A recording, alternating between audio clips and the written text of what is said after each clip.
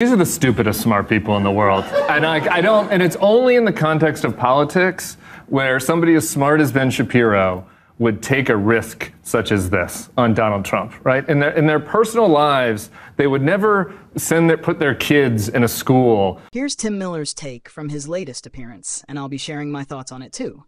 Let's dive in and check it out together. Where somebody like Donald Trump was the principal of the school. They would never do that, right? If there were two right. options and, and there was like so a normal center left, kind of woke liberal running one school, and there was an insane madman sundowning running the other school, saying random yeah. shit all the time, yeah. they would net, they would always go in the woke liberal school every time. All You're these right. people. They're only doing this in the context of politics. It is an unbelievable risk. And uh, the Wall Street Journal this morning, if you don't mind, I pulled this one up. These are supposed to be the intelligent conservatives. This was their editorial today.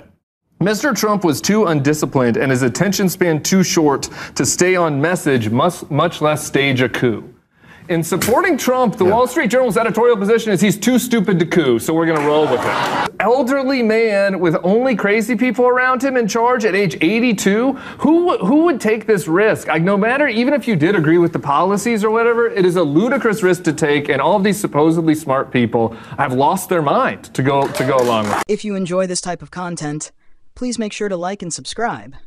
It really helps me a lot. You know, half the country yeah. is like, that's the way we all talk. We don't watch, we don't watch yeah. our P's and I also, I also get a little annoyed about the media, the constant media criticism of the mainstream media. I, this is a fair criticism, but it's like, it's coming oftentimes from people who are like, uh, frequent viewers of the Jesse Watters show or whatever. You know what I mean? Like, there's a whole right wing MAGA meet. Like, it's not 1984, right? Where there are only three networks, and if they're a little bi- and if they're biased, if Dan Rather is telling you something that's wrong, that's like a really big deal that right. he's biased because 60 million people are watching Dan right. Rather. It's like as many people like are watching daytime MSNBC as are watching primetime Newsmax, right? So it's like, uh, you know what I mean? So obsessing over the criticism, right? They're so obsessing TikTok. over the criticism of it, right. I sometimes think is a little overkill. So J.D. Vance said teens are becoming, teens are purposely becoming trans to get into elite colleges.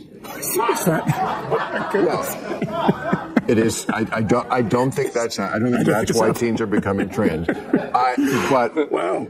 just to throw it all on the table, I'm not so sure that elite colleges don't want trans, possibly more than they want people who are not trans. I mean, that's just where the far left is. I don't think they're purposely doing that. He also said that he would wouldn't be. what's, what's his plan for the White House on that? Interfe- I, I, I, I, have no idea. What's the what's the Trump Vance administration going to do? Like to... one case of that? Of course not. but he said J.D. Vance said he wouldn't be surprised if he and Donald Trump get the normal gay guy vote. it means by the normal gay guy vote is the guy who has a blank profile on Grindr, who's messaging. Who's, who's messaging messaging uh, actual out gay guys. I think that probably is a Trump All right, supporter. Bill Maher and political analyst Tim Miller tackled some big topics and shared their takes in a pretty interesting way.